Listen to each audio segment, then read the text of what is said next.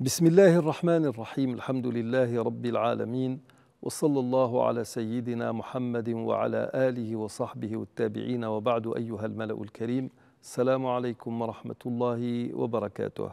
Après avoir disserté sur cette première grande règle du droit musulman qui dit l'omuru bimaqasidiha, c'est généralement celle qui prend le plus de place dans, l'explication des cinq grandes règles du droit, parce que l'intention s'ingère dans tous les actes de la vie et de la religion.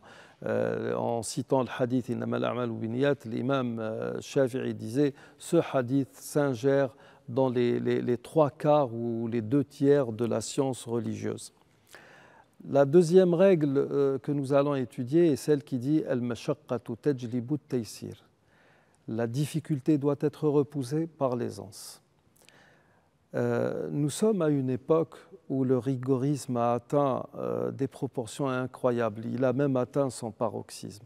À telle enseigne que les gens, pour, pour, voir en vous un, bon musulman ou quelqu'un qui est, qui est en adéquation avec les décrets de Dieu, quelqu'un qui est assidu au culte, il faut que vous soyez dans la rigidité la plus totale. Cette rigidité n'existe pas en islam. Et même si on dit musulman intégriste, le mot intégriste est un terme qui est apparu euh, au début du XXe siècle, vers 1900, dans l'Église catholique, où des, religieux qui refusaient toute forme de progrès sont, allés se refermer sur eux et, et, ont même exigé que les liturgies euh, se fassent par exemple en latin ou en grec.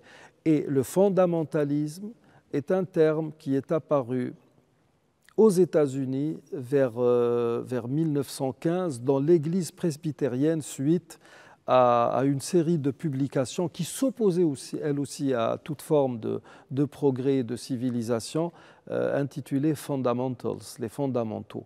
Et, c'est pour ça qu'on a appelé ces gens-là les, fondamentalistes. Et le fondamentalisme est né aux États-Unis avec l'Église presbytérienne vers 1915 dans une série d'édits toujours contre toute forme de progrès, euh, qui s'intitulait Fundamentals, Testimony of the Truth, les fondamentaux, un témoignage de vérité. Donc, à la base même, cette notion de, où, l'on place tout sous le signe de l'ayajuz, euh, tout est interdit, non, il faut être rigoureux, etc., tout ça, ça n'a absolument rien à voir avec l'esprit de l'islam. Et pour preuve, cette grande règle de droit, euh, qui fait l'unanimité de toutes les écoles juridiques, de toutes les écoles de droit et de tous les grands juristes de notre nation et qui dit